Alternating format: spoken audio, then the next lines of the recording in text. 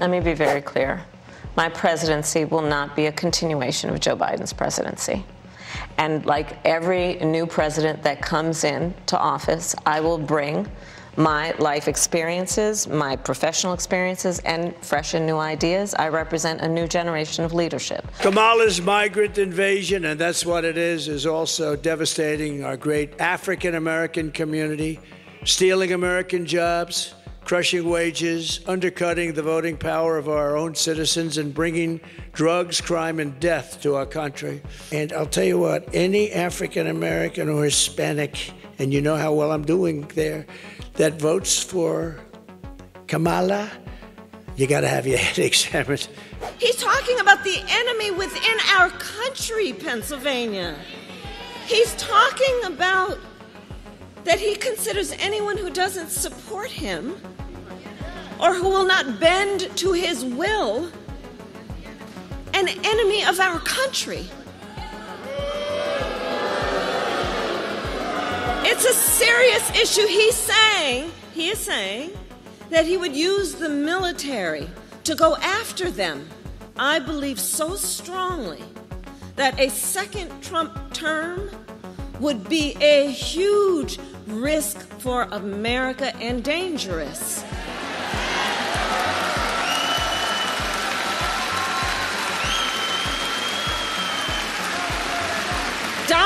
Trump, Donald Trump is increasingly unstable and unhinged. They did something to Biden that was amazing. They stole the election from him. I mean, I'm not a fan of Biden. Who could be? But they stole the election. They took it away like candy from a baby. And and he's angry. And they're all angry. They're angry as hell. He I think he likes me more than he likes her. Can you believe it? No matter your party, no matter who you voted for last time, there is a place for you in this campaign.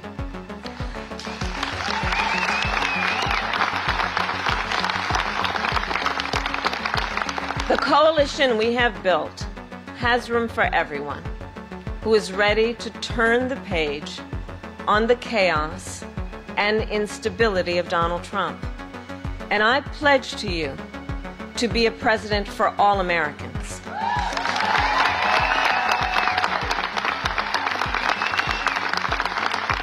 And I take that pledge seriously.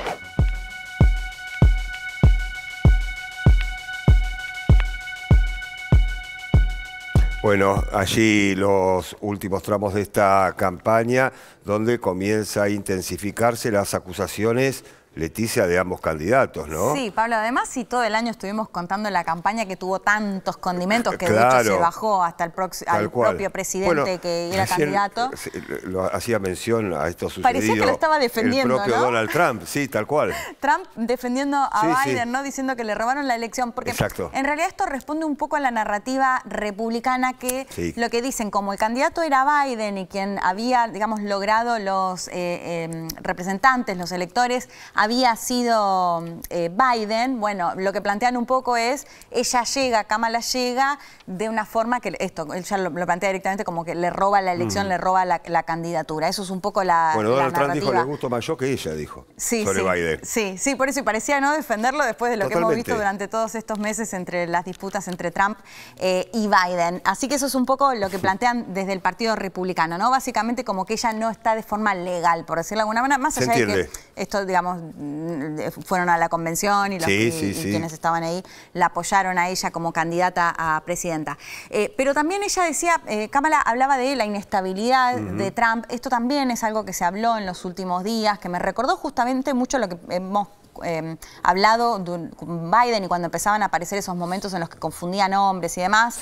Bueno, un Trump que en, varios días de pronto se confundía las ciudades a las que iba. Bueno, varias de esos gafes, podríamos llamar, que se daban y que entonces Kamala aprovechó para, eh, digamos, golpearlo en ese sentido, plantear que no, está en condiciones de, salud. Bueno, un Trump que le contesta, hablo dos horas sin teleprompter, me confundo en una cosa y ya empiezan a hablar de que no tengo eh, la capacidad para ser presidente. Eh, presidente presidente. Recordemos que ahora se convierte con 78 años en el candidato a presidente más longevo y podría convertirse en el presidente también más longevo, más que Biden, que ya había, eh, digamos, ya rompió un récord. ¿no? Esto que también habla de dirigencia o, poca renovación en la dirigencia Bueno, nos hemos cansado de hablar en esta edición de Televisión Pública Noticias Internacionales, de esta cuestión que, es clave. ¿eh? Sí, y un Trump que, bueno, también, decía Pablo, eh, por un lado Cámara que va a la Fox, que sabemos que... Sí, sí, es mucho más cercana al Partido Republicano en búsqueda claramente de de sumar algunos votos del Partido Republicano, que bueno, sus, las preguntas fueron eh, bien duras.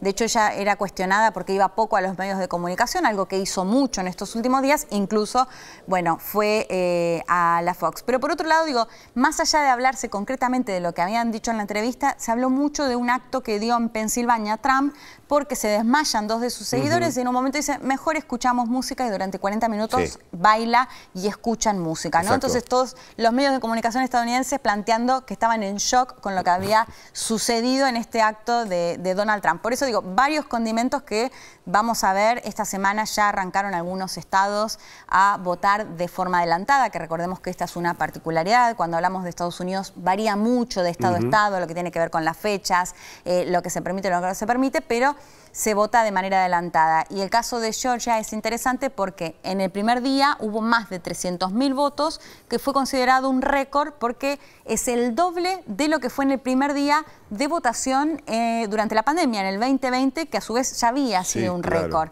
Eh, así que bueno, ya empezaron a votar de forma adelantada de cara a estas elecciones del 5 de noviembre, que quedan muy pocos días y que, como lo decimos, las encuestas realmente dan una elección muy, muy pareja para saber quién va a ser el próximo presidente o presidenta de Estados Unidos. Empate técnico según estas encuestas que está haciendo mención Leticia.